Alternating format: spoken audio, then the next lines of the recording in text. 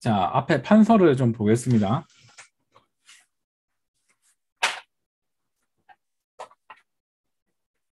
자, 지금 할 내용은 어, 1차 세계대전 어, 이후에 어, 세계의 모습에 대해서 지금부터 학습해 보도록 하겠습니다. 음. 자, 음, 1차 세계대전의 가장 큰 승전국은 어디냐면은 1차 세계대전의 가장 큰 승전국은 어딘 것 같아요? 1차 세계대전에 가장 크게 이긴 나라.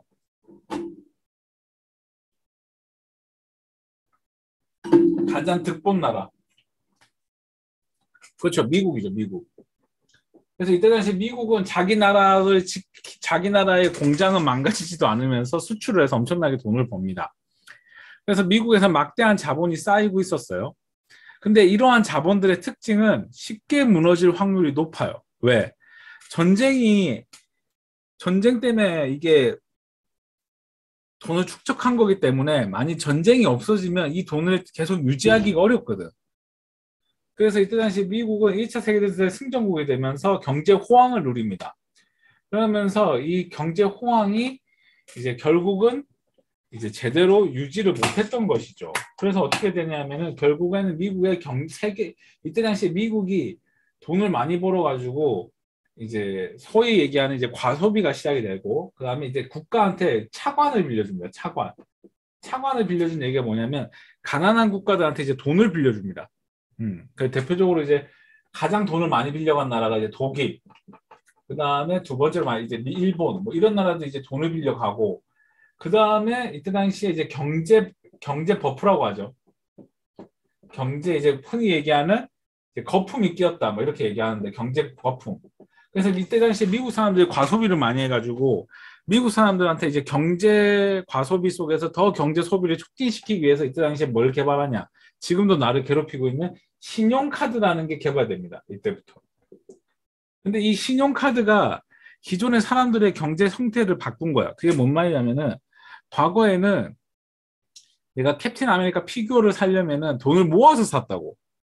근데 이때부터는 이제 뭐, 어, 뭐 어떻게 사냐? 드디어 할부라는 게 생긴 거야. 할부.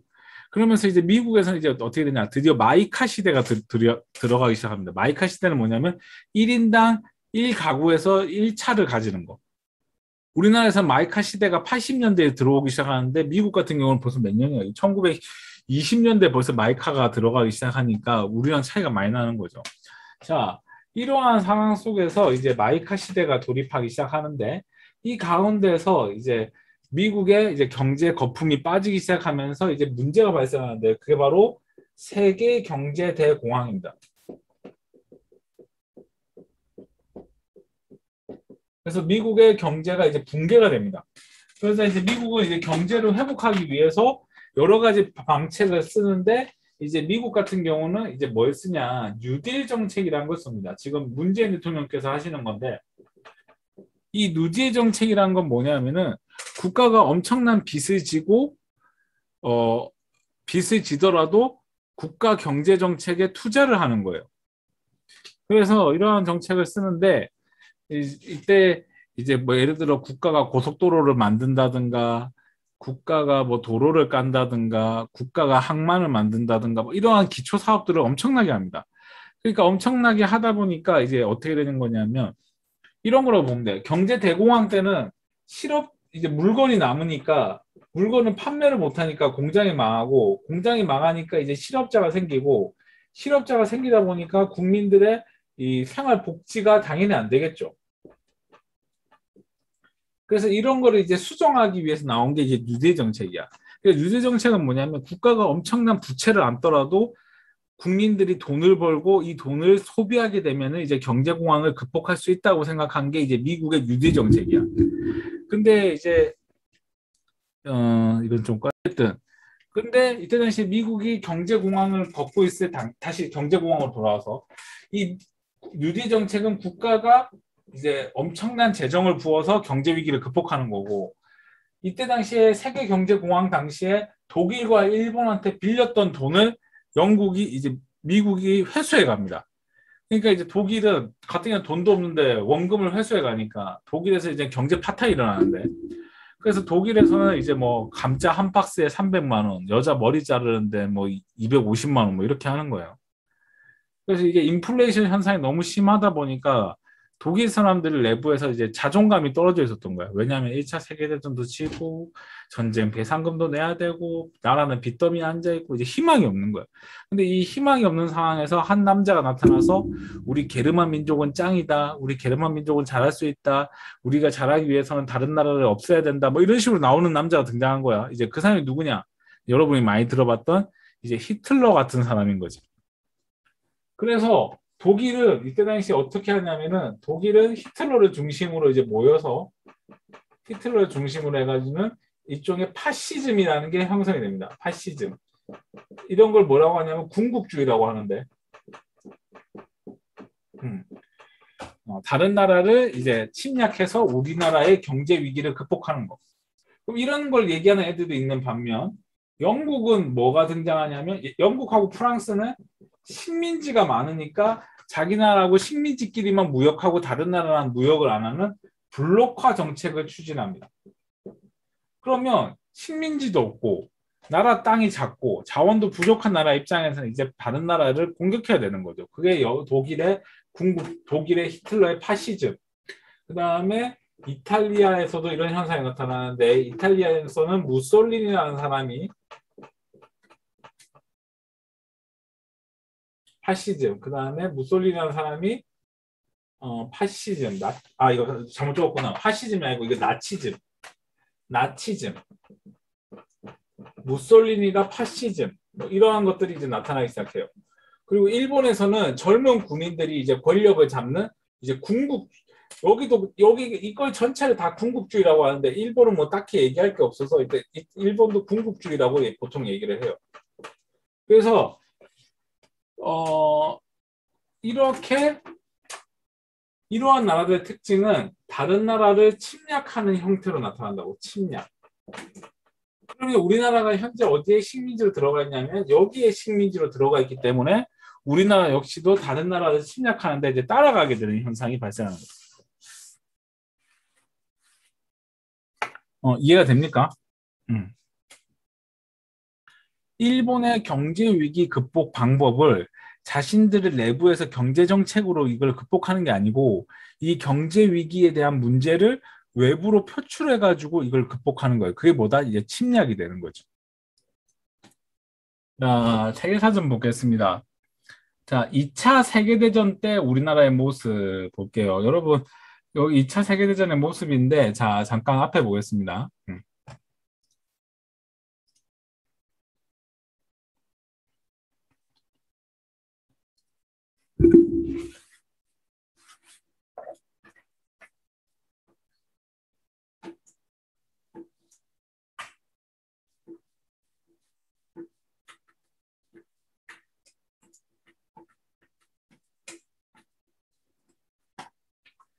자, 그 이때 당시에 이제 독일에서 이제 히틀러가 이제 히틀러의 주도 아래 엄청나게 경제 성장을 하게 됩니다. 그래서 독일하고 여기 밑에 이탈리아하고 이제 교류를 하면서 이제 엄청나게 경제 성장을 하게 되는데 자, 이 과정 속에서 이제 어떤 일이 벌어지냐면은 이제 독일이 이제 드디어 전쟁을 하기로 마음을 먹습니다. 근데 독일이 1차 세계대전에 진 이유가 뭐냐 생각을 해보니까 전쟁을 해야 되는 범위가 너무 넓은 거야. 그래서 히틀러가 생각한 건 뭐냐면 일단은 영국과 프랑스부터 깨고 다음에 생각하자 이렇게 해가지고 소련과 불가침 조약을 체결합니다. 그래서 이때 당시에 독일이 오스트리아 오스트리아를 점령하고 그 다음에 바로 이제 어디로 가냐면 이제 폴란드로 들어갑니다. 폴란드. 그래서 폴란드를 이때 반으로 쪼개갖고 소련한테 주고 반은 자기들이 먹게 됩니다. 그리고 나서 이제 독일이 어디로 침공하냐면 이제 프랑스로 진격을 하게 됩니다. 프랑스.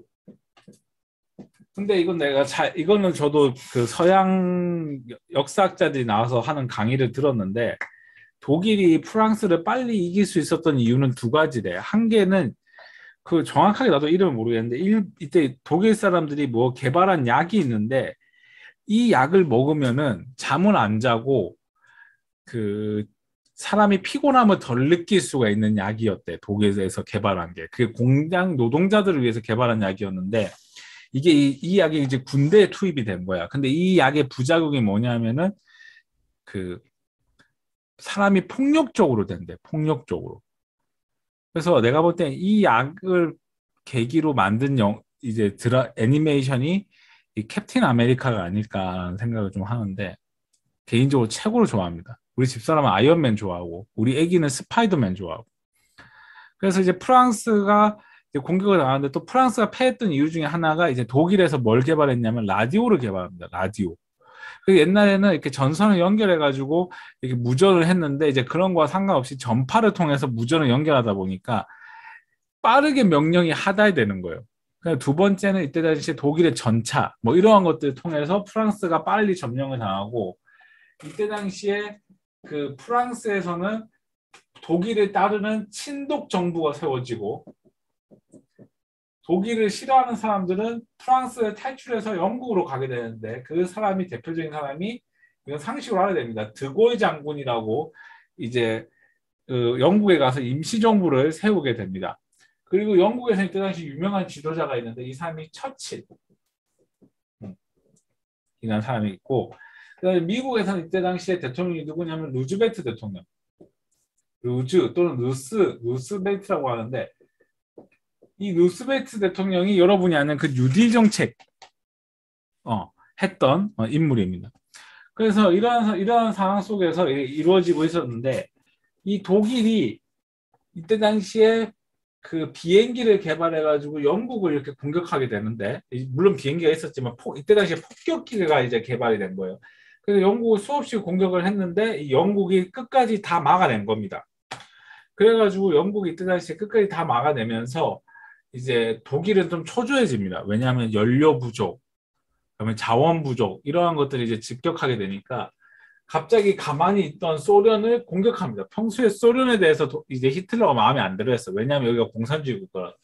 그래서 독일의 히틀러가 소련을 공격하는데 이때 다시 소련이 그 나폴레옹하고 싸웠던 것처럼 똑같이 싸우다가 후퇴하고 싸우다가 후퇴하고 뭐 이런 식으로 계속 하면서 게릴라 전술을 피게 되고 결국은 이제 독일은 어떤 일을 발, 발생하게 되냐 겨울이 오기 시작합니다. 겨울. 그래서 이때 당시 독일 병사들이 일찍 전쟁이 끝낼 줄 알고 여름 옷을 준비해 갔다가 이제 완전히 동상으로 죽게 되는 거예요. 그러다가 이제 독일이 독일하고 소련하고 이제 결정적으로 붙는 전투가 있는데 그게 스탈린 그라드 전투라고 이거 영화로도 나왔어요. 이때 당시 독일 사람이 120만 명이 또 여기서 전사를 하게 되는데 이 전투를 계기로 이제 독일의 육군이 거의 전멸 직전에 들어가게 됩니다. 그러자 이제 미국하고 미국하고 영국하고 손을 잡고 이제 독일의 공격 프랑스를 공격하게 되는데 그 그게 그 유명한 노르망디 상륙 작전을 하게 됩니다. 노르망디 상륙 작전. 그래서 이러한 영화를 이제 이러한 2차 세계 대전을 배경으로 만든 영화들이 많은데 혹시 여러분이 알고 있는 영화가 있는지 모르겠는데 이 독일 사람들이 유태인을 학살했던 영화가 있는데 그 인생은 아름다워라는 영화가 있고 그래서 그 유태인 학살 학살한 게 아우슈비츠 어그 그 학살 그 장소고 그거 관련된 게 인생은 아름다워 어, 피아니스트 이러한 영화들이 있고 문학 작품으로는 안내의 일기. 그 안내라는 애가 이제 아버지가 유태인인데 미국으로 건너가려 했다가 실패하고 프랑스에서 아빠 친구 집에 숨어가지고 이제 있다가 이제 독일이 망하기 한 달 전에 이제 그 옷장에서 이제 숨어 있던 것이 이제 옷장 뒤에 방이 있었는데 거기에서 이제 걸리면서 이 사람들이 강제 수용이 되고 자기 언니, 자기, 그 다음에 본인, 그 다음에 엄마가 죽고 아빠가 이제 살아서 나오는데 나와서 그 딸의 일기를 이제 보고 이제 세상에 공개하게 되죠. 그게 이제 안내 일기고 그 다음에 그 영, 미국의 국뽕이 이제 흠뻑 있는 라이언 일병 구하기 뭐 이러한 것들 다 이게 다 2차 세계 대전을 배경으로 하고 있는 영화입니다. 자 이러한 상황 속에서 이제 일본을 좀 볼 필요가 있는데 이때 일본은 어떤 상황이었냐면은 일본은 미국에 대한 서운함이 좀 있는 상태였어요. 왜냐하면 1차 세계대전 때 일본은 분명히 승전국이었는데 이 일본에 대한 초 일본에 대한 일본은 승전국으로 인정을 안 해줬어요. 다른 나라들이. 그래서 약간 이런 어떤 일이 있었냐면 일본이 일본 사람들이 영국, 프랑스에 가서 살 수 있게 시민권을 부여해 달라고 했어요. 시민권. 그러니까 이 말은 뭐냐면 영국, 일본 사람이 미국에 가가지고 시민권을 못 받으니까 자꾸 차별을 당하는 거야.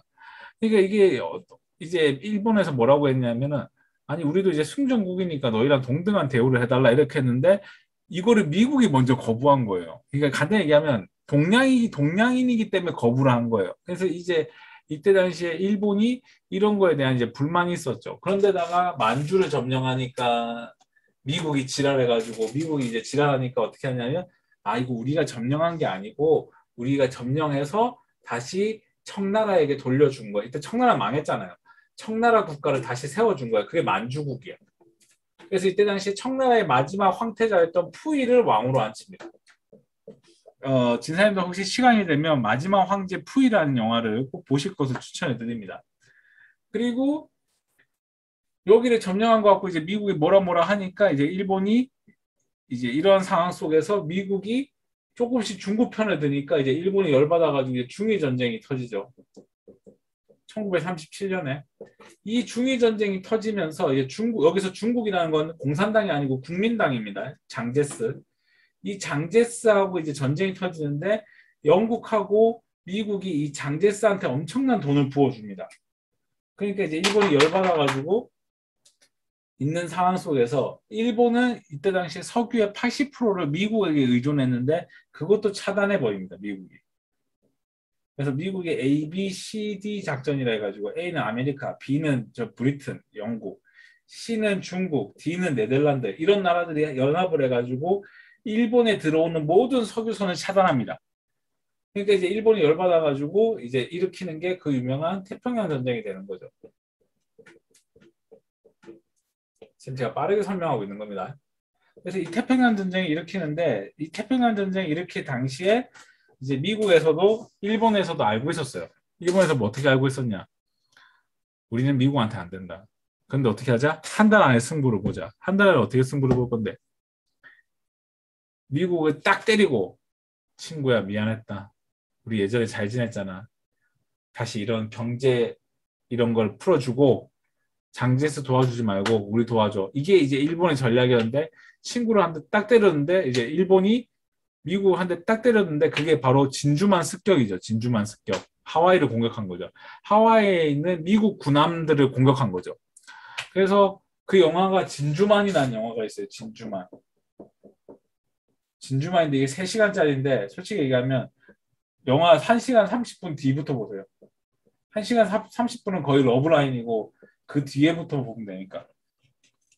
그래갖고 이 진주만 습격으로 이제 미국이 열받아서 이제 본격적으로 이제 일본을 때리게 되죠. 그래서 그 일본하고 이제 싸운 전투 중에 이제 미국이 승기를 잡은 게 미드웨이 해전 뭐 이런 걸 통해서 승기를 잡고 그러다가 이제 미국에서 음 이건 나중에 배울 건데 그냥 쭉 듣기만 하세요. 그래서 미국에서 계속해서 전쟁에 이기면서 이제 태평양을 장악하게 됩니다. 그러니까 왜 중국은 왜 일본은 중일 전쟁을 일으켰냐면은 중국을 되게 약하게 봤어요. 여러분 이거 전체를 이해를 하고 이거 들어야 돼. 일본은 중국을 되게 약하게 봤어요. 그래서 중국을 공격해서 한 달 안에 점령할 수 있다고 본인들 생각을 한 거야. 근데 막상 뚜껑을 열어보니까 국민당의 무기 보유량이 상당했던 거야. 장제스가 왜 미, 중국하고 아니 그 미국하고 영국한테 지원을 받아서 그리고 두 번째 인구가 너무 많아. 근데 도시를 동 그러니까 예를 들어 이런 거야. 인구도 너무 많고 자그마한 동네를 점령했는데 이 자그마한 동네는 또 뭐가 있냐? 공산당 그 마오쩌둥 군대가 또 숨어 있고 이러다 보니까 이 점령 시기가 늦어지는 거야. 심지어는 어떤 일이 벌어지냐면은 하, 상하이를 공격하는 일본 병사들한테 한 달이면 중국 점령한다고 이렇게 얘기했는데 상하이 점령하는 데만 세 달이 걸린 거야. 그러니까 병사들이 제대를 못하고 오랜 시간 동안 군대에서 전쟁하다 보니까 이게 화가 나고 폭력적인 상태로 돼 있는 거야. 그래갖고 이제 난 이제 공, 중국 국민당의 수도였던 난징을 딱 점령하니까 이제 일본 병사들이 이제 뚜껑이 열리면서 이 난징에 있는 중국 사람들을 전 30만 명을 죽이게 되는데 그게 난징 대학살이에요. 일본 이거 사과 안 하거든요, 지금. 난징 대학사를 합니다. 자, 이러한 상황 속에서 이제 전쟁이 점점 일본에게 불리하게 갑니다.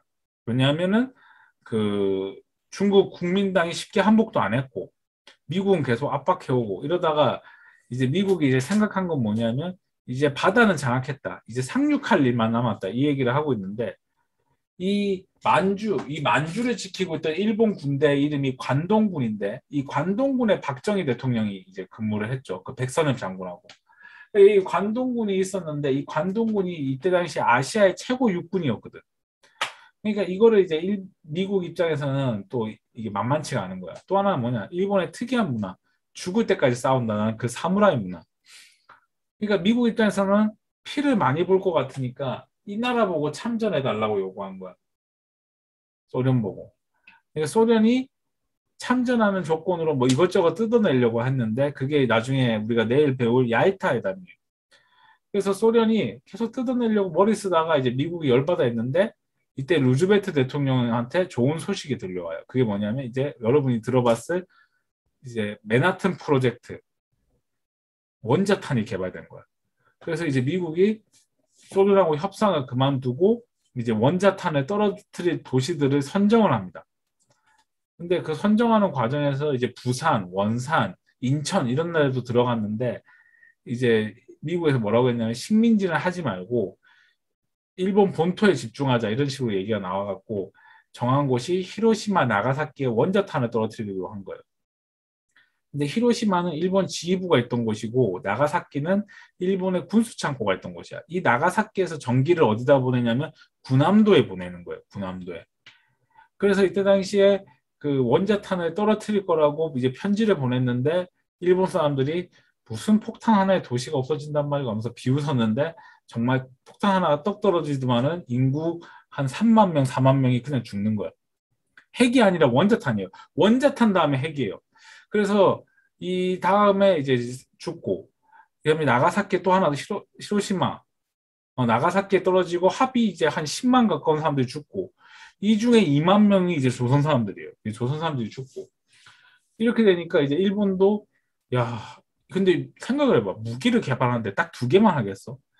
그때 당시에 뭐 내가 내가 조사한 바 그다음에 다른 사람한테 들은 바 이렇게 보면 원자탄이 200 몇 개가 있었다고 하는데 그 200 몇 개가 한 일본 본토에 다 떨어진다고 생각하면 일본 민족은 멸망하는 거지. 그래서 일본이 이때 당시에 이제 항복을 하기로 결정을 합니다. 그러면서 우리는 이제 뭐 안타까운 얘기지만 우리의 힘으로 광복을 맞이한 게 아니고 미국의 전쟁 승리의 하나의 부산물로 이제 취급이 되는 거죠. 어, 그래서 우리나라의 불행의 시작은 우리나라의 힘으로 독립을 못했다는 데좀 좀 불행이 있지 않나라고 저는 생각을 합니다.